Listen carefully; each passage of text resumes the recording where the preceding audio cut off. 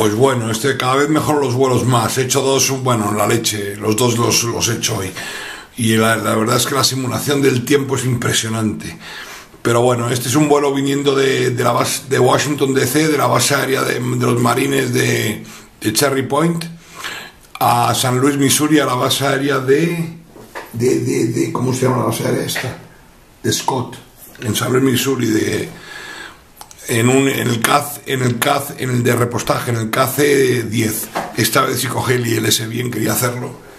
Son 650 millas, pero bueno, la navegación se hace a tiempo rápido. Y bueno, y vais a ver eh, la aproximación, la base aérea es muy bonita y hay un montón de KC-10s. Ah, vamos a ver, a ver, estamos ahora mismo con el piloto automático a 4.000 pies y la altura a 4.500. Estamos bajando eh, es con, va a ser con ILS y, asistencia a la torre de control aéreo. Y, veréis que el tiempo, bueno, lo seleccioné, lo seleccioné y me quedó muy bien porque hay nubes altas, una capa de nubes altas muy tontas y están las luces puestas, pero se ve, hay luz, pero hay mucha visibilidad y eso, y está oscuro el día, pero no está muy oscuro, o sea, y no está viendo claro.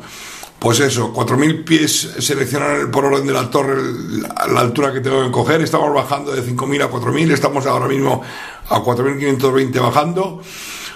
230 de velocidad.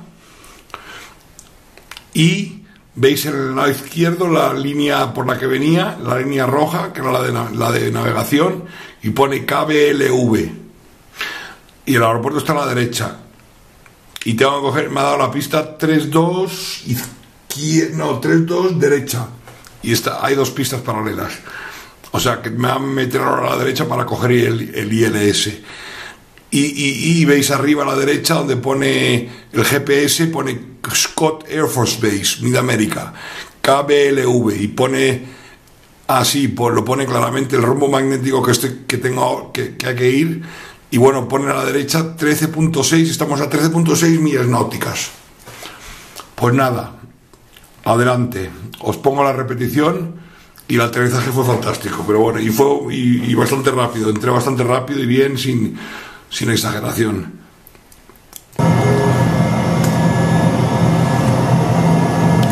Ahí estamos bajando y flaps no tengo no tengo ningún flap.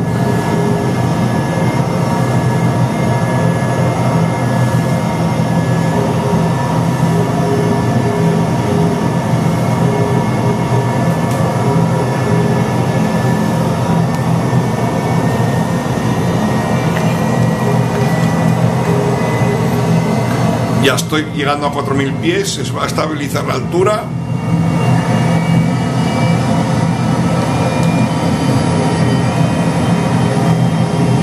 Flaps no he sacado todavía.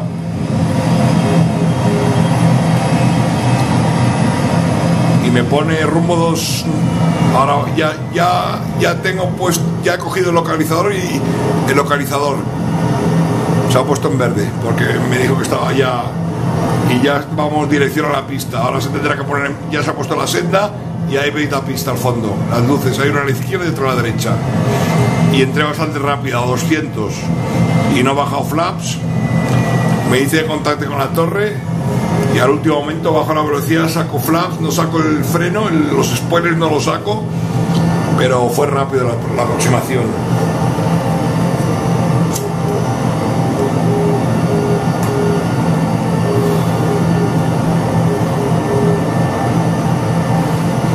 Estamos a 10 millas, por ahí. 9 millas con 8 bajando. Ya ha puesto la velocidad a 200 de golpe. Y flaps. Bueno, de golpe no está a 230 o 120, o sea que tampoco mucho. Y flaps no he bajado ninguno. O por lo menos en la repetición no sale. Pero sí, sí, flaps, vamos, me consta que y tengo que haber sacado. Tengo que haber sacado. Sí, sí, tengo seguro. En la repetición no sale. O no, no sé, no sé. Ahora, ahora se verá.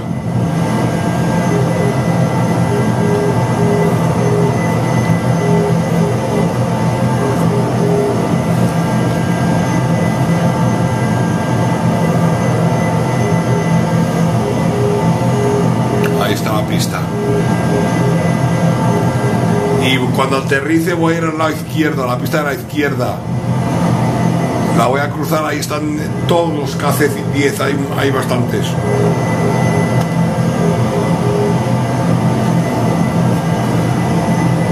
Estamos a 5,9 millas. Eso que veis en azul es el outer mark, es una cosa de ILS, pero bueno, con eso antiguamente se hacía porque había, porque había que hacerlo manualmente la aproximación.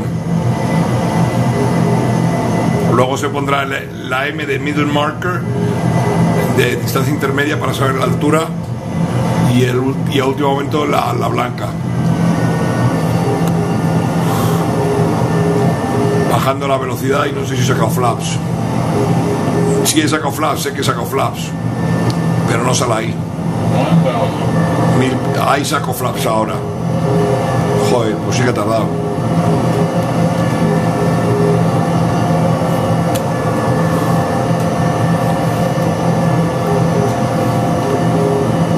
Me pongo a 140 y bajo todo flaps.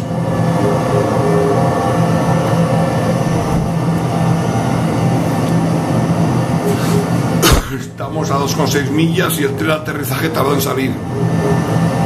Lo saqué tarde. Lo saco ahora y me avisa, me avisó.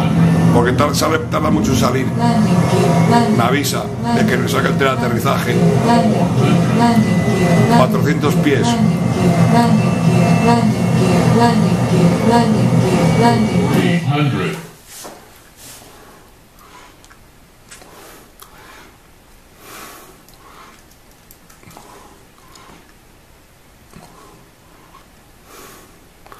Y ahí lo veis.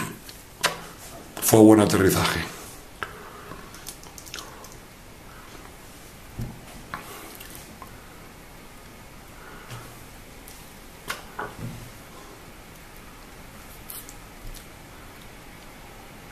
Fue muy buen aterrizaje.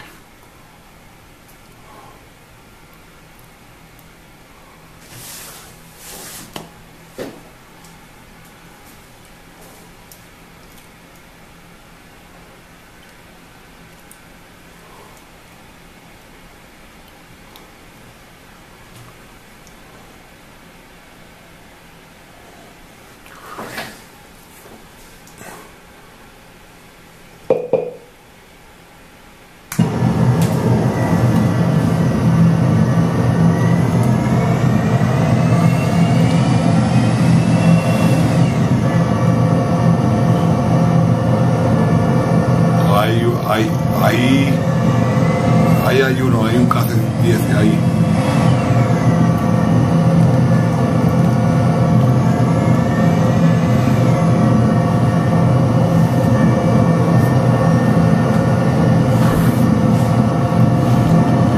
Ahí hay un B-52, unos privados.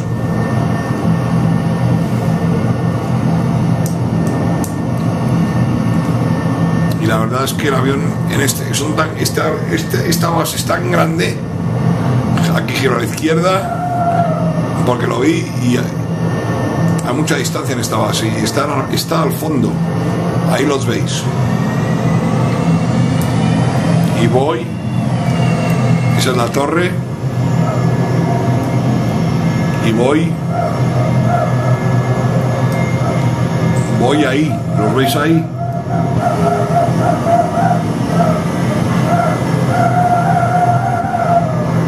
Ay, se me ha ido la vista.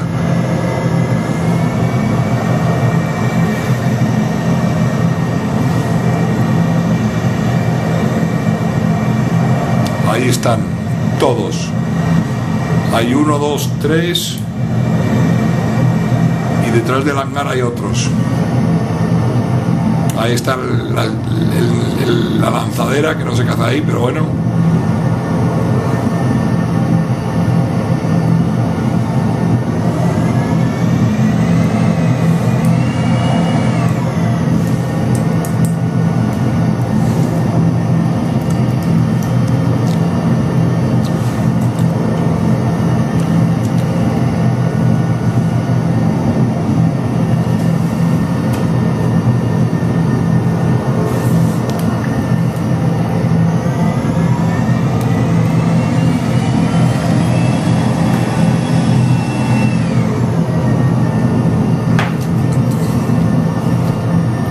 Pistas de rodaje son grandes, grandes, la verdad.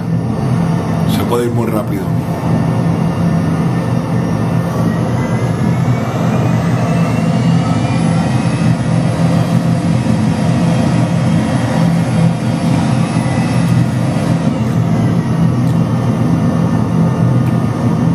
No hay muchos aviones, podían poner más, pero bueno. En el hangar no entro, intenté entrar en el hangar, pero creo que es demasiado pequeño para mí.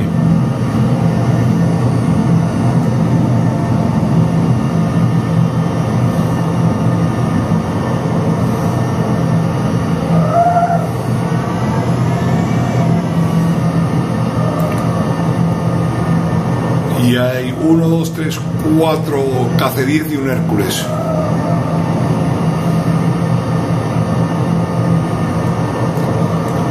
No entré por la derecha porque no, no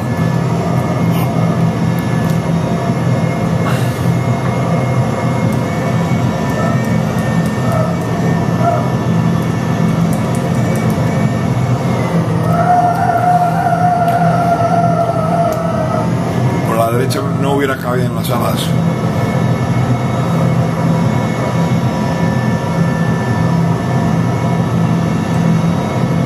Hay otro, no, ahí hay un Hércules. Un Hércules y una lanzadera. Sí, entré bien, entré bien, no le di.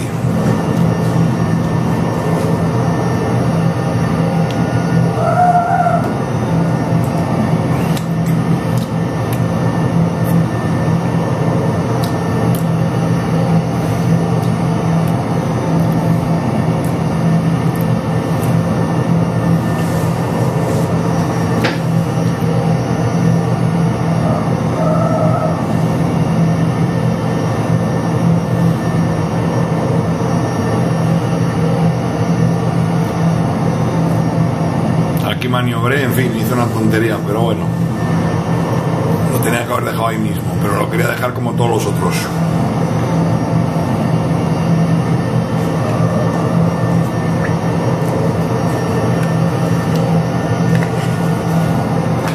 Y creo que no hubiera cabido.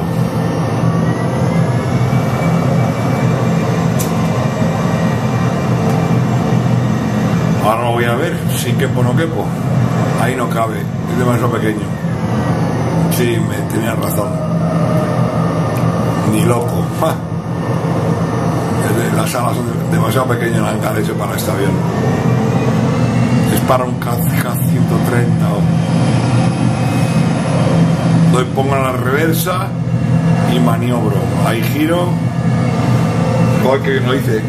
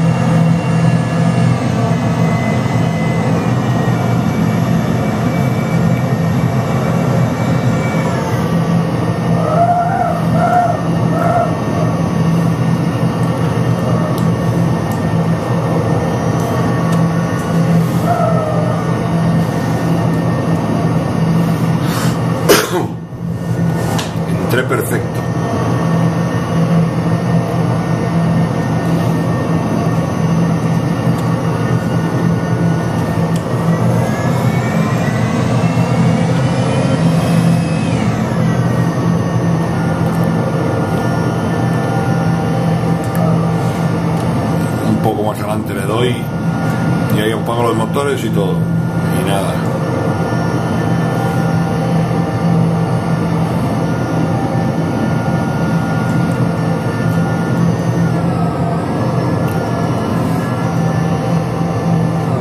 ahí, lo dejé ahí.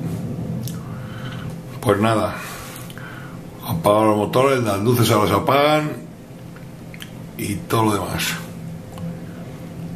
Y espero os haya gustado.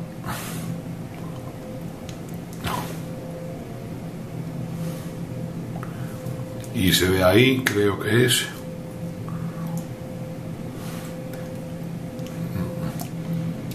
Ver un poco la base desde arriba que las nubes están muy altas.